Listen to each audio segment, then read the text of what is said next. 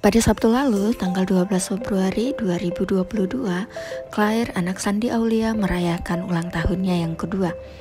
Melihat dari Instagram Sandi Aulia, acara ulang tahun Claire yang kedua ini diadakan di Bali di salah satu hotel yang ada di sana. Tak tanggung-tanggung, Sandi dan David menggelar pesta ulang tahun yang mewah di sana. Pesta ulang tahun didominasi dengan warna Tosca ini seakan menyatu dengan warna biru laut dan hijaunya rumput. Jika dilihat dari unggahan Sandi Aulia di Instagram, pesta ini hanya dihadiri oleh keluarga dan juga kerabat dekat. Untuk diketahui, Sandi Aulia menikah dengan seorang pengusaha bernama David Herbowo pada 12 Desember 2011. Setelah menanti 9 tahun, keduanya akhirnya dikaruniai anak pertama yang berjenis kelamin perempuan. Anak Sandi Aulia lahir melalui persalinan sesar dengan berat 2815 gram dan panjang 49 cm. Nama Claire sendiri ternyata diambil dari bahasa Inggris, yaitu clarity yang artinya kejelasan atau kejernihan. Claire tak terasa Mami menjadi seorang ibu sudah dua tahun setelah kelahiranmu di kehidupan Mami. Liz aktris 34 tahun itu mengawali pesan cintanya yang diunggah ke Instagram tepat di pergantian hari Sabtu. Ia juga berjanji kepada Claire bahwa selama ia hidup akan selalu mendampinginya menghadapi berbagai tantangan seiring pertambahan usianya. Semakin Claire besar, akan semakin banyak tantangan dalam kehidupan. Selama nafas Mami masih berhembus, Mami akan selalu memegang tangan Claire dalam setiap musim kehidupan Claire nantinya. Ucap pemeran Tita dalam film Eiffel I'm in Love itu.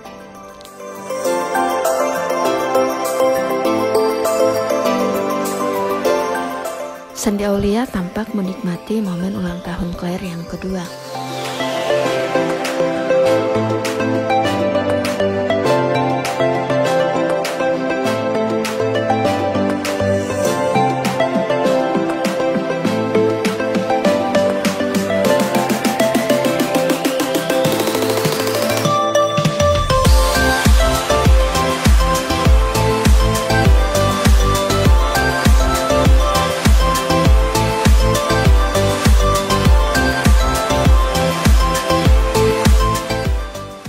Sana juga tampak ada suami dari Sandi Aulia yaitu David Herbowo.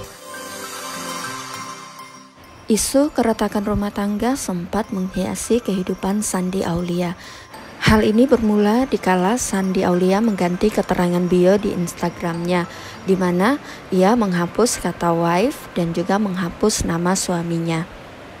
Saat itu, gosip makin berhembus lantaran potret David Herbowo tidak lagi terlihat di akun Sandi Aulia. Sandi Aulia mengaku rumah tangganya memang sempat menghadapi masalah, namun ibu dari Claire Herbowo punya alasan untuk tak mengumbar masalahnya. Sandi Aulia mengatakan masalah dalam rumah tangga itu wajar, namun ada hal yang membuat Sandi Aulia kecewa, yaitu opini publik yang terlalu berlebihan. Pasalnya, Sandi Aulia tak pernah menyebutkan rumah tangganya dengan David berada di ujung tanduk. Justru publik sendiri yang mengada-ngada soal isu tersebut.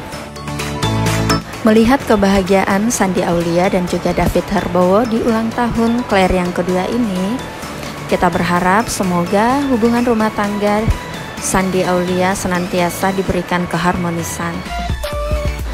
Happy birthday Claire!